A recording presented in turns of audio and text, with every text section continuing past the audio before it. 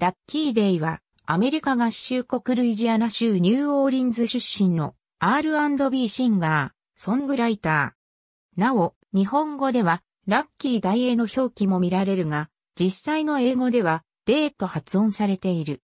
1985年9月25日、ラッキーデーことデビッド・デブランドン・ブラウンは、ルイジアナ州ニューオーリンズに生まれる。世俗的な音楽を禁じたカルト教団の中で育ったラッキーデイは、生来の歌のコツを発見し、児童書を自分の歌にしてメロディーを独学で学んだ。母親がカルトを脱退した後、ラッキーデイはクラシック R&B に浸るようになり、プリンス、リック・ジェームズ、ローリン・ヒル、スティービー・ワンダーなどに夢中になった。彼は音楽のキャリアを追求するため、ジョージア州アトランタに移住した。2005年、ラッキーデイは19歳の時にオーディション番組アメリカンアイドルに出場していた。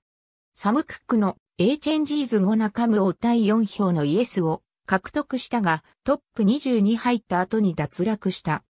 その後、ラッキーデイはソングライターとバックグラウンドボーカリストとしての地位を確立し、2008年にはキース・スウェットのアルバムの制作に参加し、2014年にはボーイズ・トゥーメンの曲 Believe Us でソングライティングを担当した。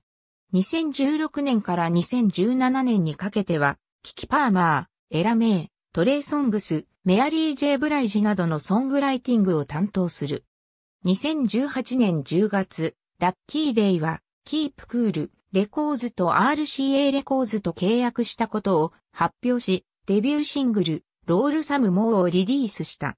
11月9日に、ファースト EP、 I を、翌年2月6日には、セカンド EP、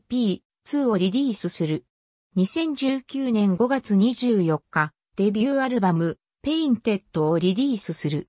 第62回グラミー賞では、最優秀 R&B アルバム賞、 Roll Some Mo が最優秀 R&B パフォーマンス賞と最優秀 R&B ソング、リアルゲームズが最優秀トラディショナル R&B パフォーマンス賞と計4部門にノミネートされた。スタジオアルバム。ありがとうございます。